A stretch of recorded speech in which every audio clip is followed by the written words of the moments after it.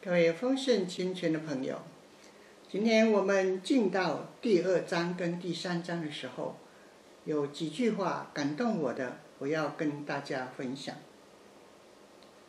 上帝知道哪一些地是要给他们的，哪一些地是不是给他们的，所以呢，照上帝的指引来走，就不会抵错。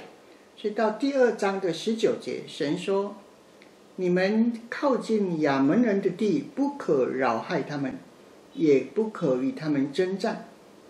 亚门人的地，我不赐给你们为业，因为我已将那地赐给罗德的子孙为业。你看，上帝守约是不是？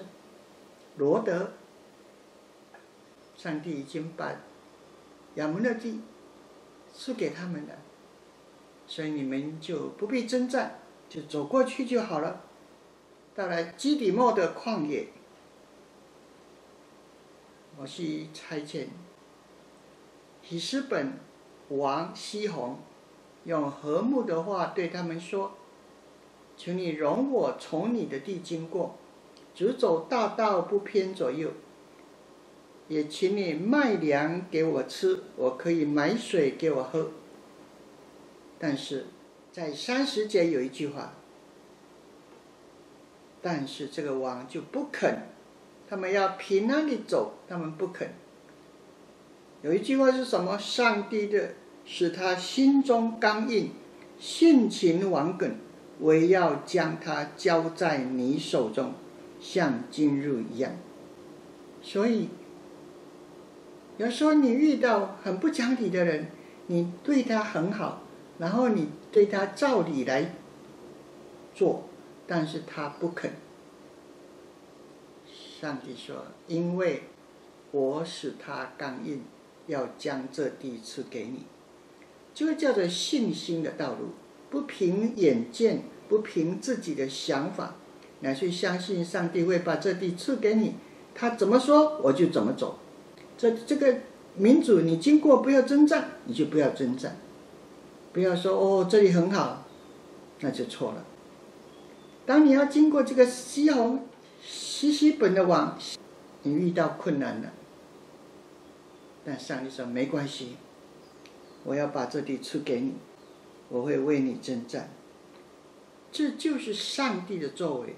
到了巴山王的地方，啊，他呢也希望能够平安的过去，但是呢，巴山王就不肯。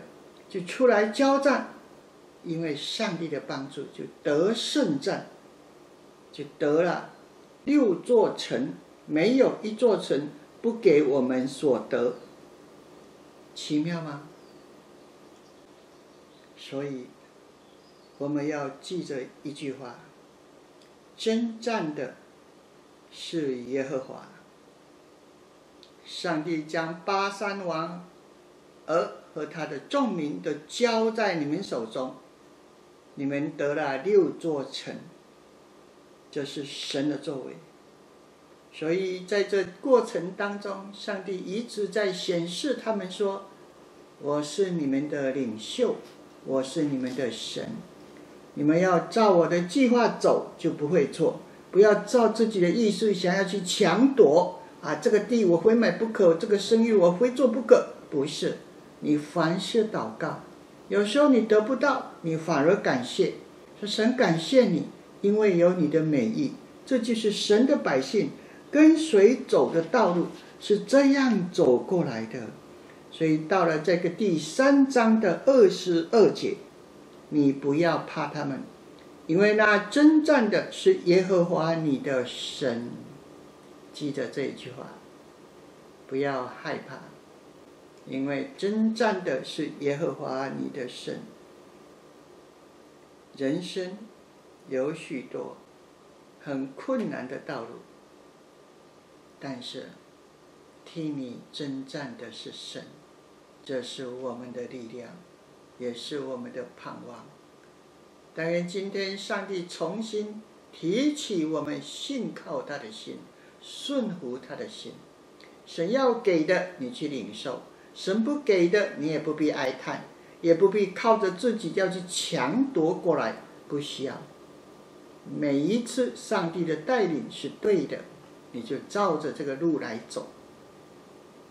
为你征战的是耶和华你的神，天父，我们感谢你，你对我们的一切有好的计划，也有好的引导。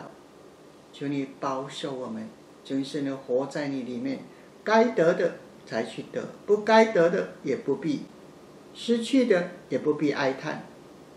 主啊，你替我们征战，胜过一切敌人的侵袭攻击都不害怕，保守我们的心专一仰望你，全心信靠你。祷告，感谢靠主的名，阿门。